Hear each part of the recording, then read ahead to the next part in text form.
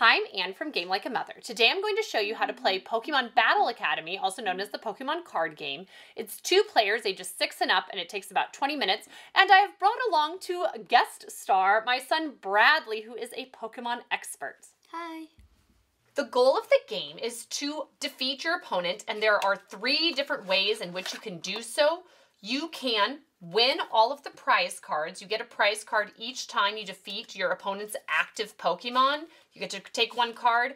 On a standard game, there are six cards. Uh, in this game, uh, an intro game, we are only playing with four cards.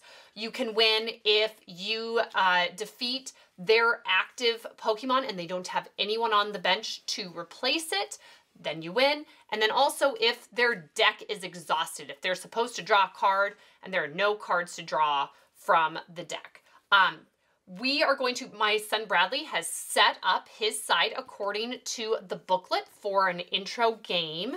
Uh, he's placed four off to the side. You first, so he's playing on these. It says his is player one, I'm player two.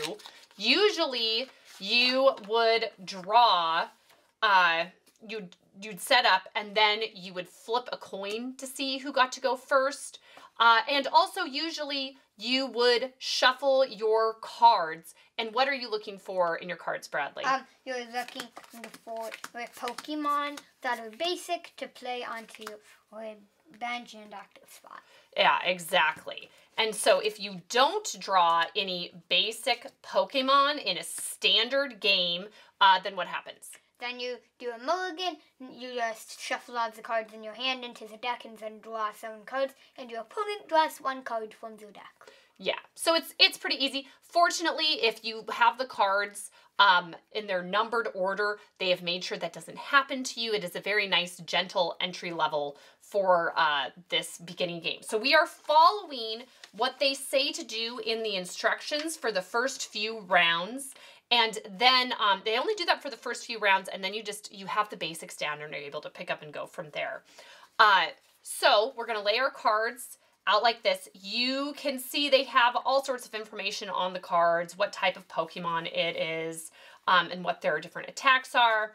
So to start, um, my character is supposed to, you, you were placing them face up in a standard game this would all be face down like until you started. Correct. So um, replacing this, Bradley gets to be player one. And so um, go ahead and your first action is always to draw a card. And then I want to show he has another, um, one of his other decks, more advanced decks we got for him, I think explains the turn actions a little bit better uh, because first you draw a card and number two, according to this, is number two through six you can do in any order, I think is a key thing to know.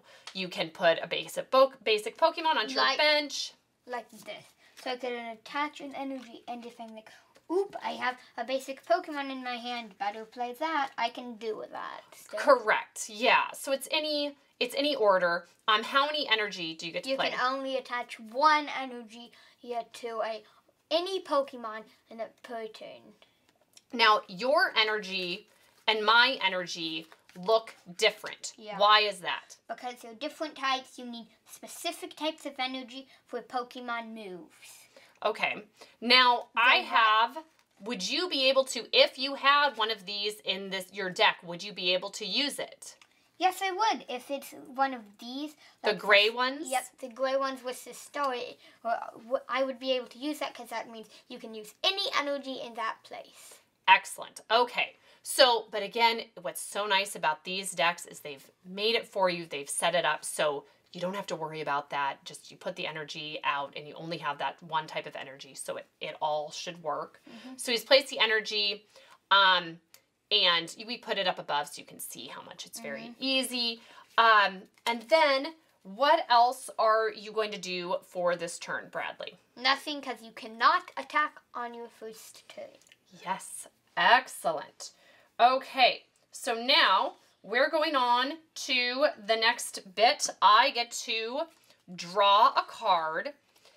And I have um, more basic Pokemon to place down and um, I'm going to go ahead and I'm not sure if this is according to the rules, but we're just going to put a few basics down because Yeah. you might. We'll just use as the well. active Pokemon stuff, like how it they want us to do it, and then and then I attach an energy, and you are supposed to declare your attack. So I'm doing flop attack against Charmander, and it takes 10 damage.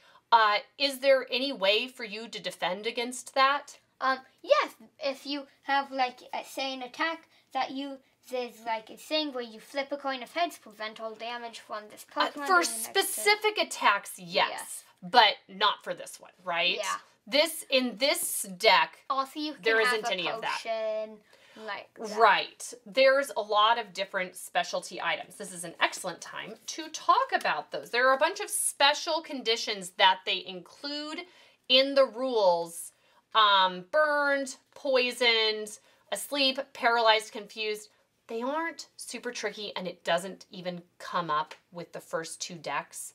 So you don't have to worry about that for now. And when it is in one of the further decks, um, It's not in the Mewtwo deck. and it's not in the Mewtwo deck either. So if you get a different deck and continue to play the game in the future, it might come up. But this is very But simple, easy way to play. Burned and poisoned is mainly in like um dark type or, or and like fire type because Okay. burned is like fire type thing. That makes sense. Okay, I attacked you, so my turn is over. What do you do?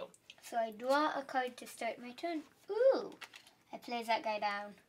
I am going to attach another energy to this guy, and then he is gonna be like, flame tail, And you And- do.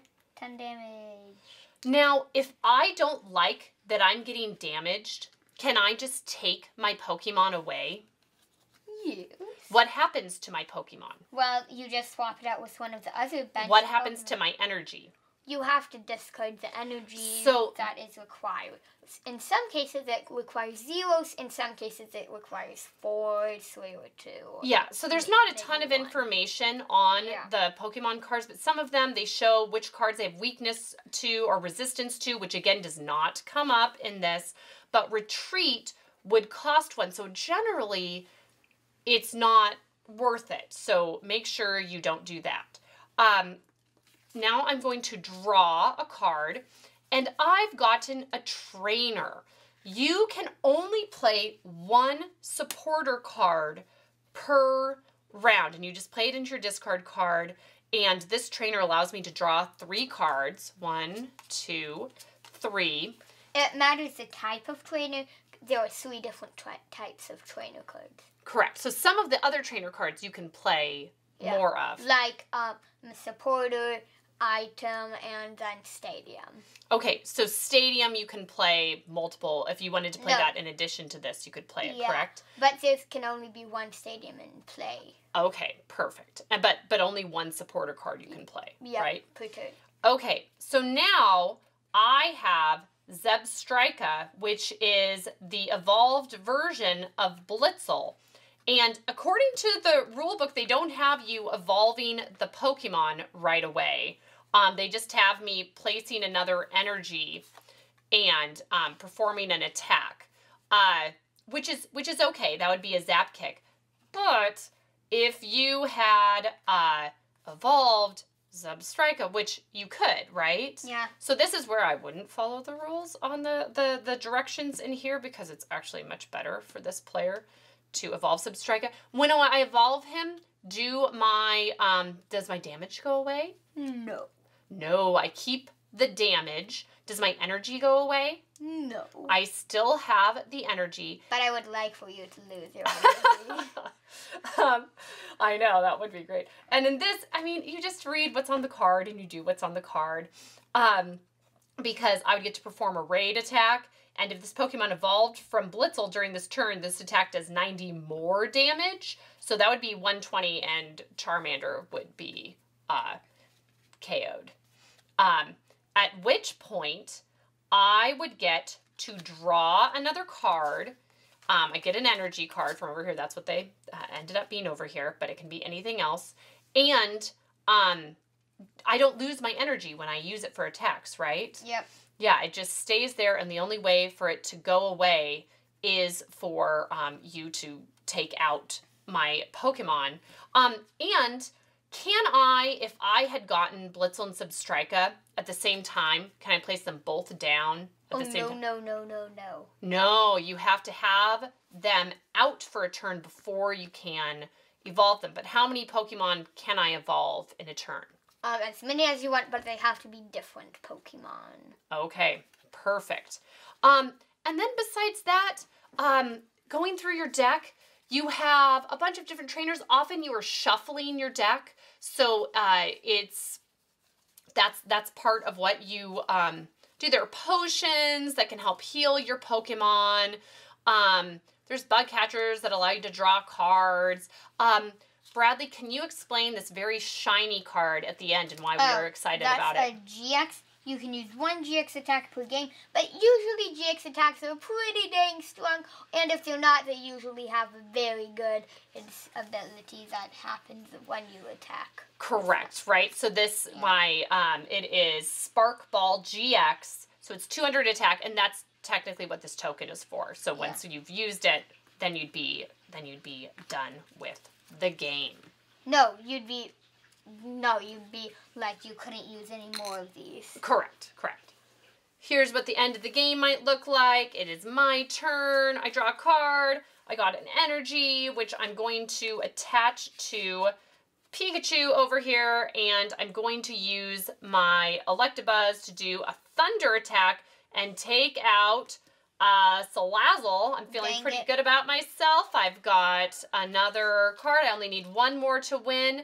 Bradley would have to do something truly astounding here to defeat me. Um, go ahead, Bradley. It is your turn. You're putting in another Pokemon. You get to draw so a card. Draw a card. I'm putting that guy there. I'm evolving this guy, and then I'm attaching an energy, Oh dear. and then I am going to use flamethrower, Okay. and that does let me see. 140 damage. Okay, so you have four energy. That's what you need. You're not using the GX attack because you only get to use that once. Yep. You're using your just standard flamethrower. Yeah. Um, which um, my Electabuzz is gone now. Yep. Yikes. Wow. Okay, I have to pick somebody else to move into my active spot. Otherwise, the game would be over. I draw a card. Oh, I got Raichu. Amazing how this just happened to happen. And I am very excited that I can do, I don't, I can't even attack another, attach another energy. I guess I'm just going to put this here. So I'm going to do my Spark Ball GX attack because I'm not messing around and do 200 damage against you. Ouch. Um, all right, but what happens now? It's your turn. You get to draw a card. So I draw a card. I am pla- I'm attaching an energy, and then I am going to play a potion. You want to heal your Pokemon, and you definitely always want to do that. Well, I feel like you're just rubbing it in at this point because Yep. you're going to do. Flare Bit Blitz GX, which does 300 damage. Oh, and Raichu is gone. Oh no! And so The this round, um, Bradley is the victor. Good job, Bradley. So that's how to play Pokemon Battle Academy, also known as the Pokemon card game. Uh, this is actually the first edition of these they came out with. There's also a second edition with just slightly different decks. And what's really nice about these is it's a really great price point for a bunch of Pokemon decks, and they're really well put together. And Pokemon cards can be pricey, so it is a deal in and of itself for that. Uh, what would you say the target demographic for this game is? I would say is? the target demographic is Pokemon fans like me. And uh, the rule complexity is medium, although this is easy. When you first get into it, I mean, they have the cards numbered, they really walk you through what you're supposed to do. But if you continue to play, there are additional elements to the game that really make it great. So you can keep on playing the Pokemon uh, card game for years and years where different types um, have advantages against other types of Pokemon.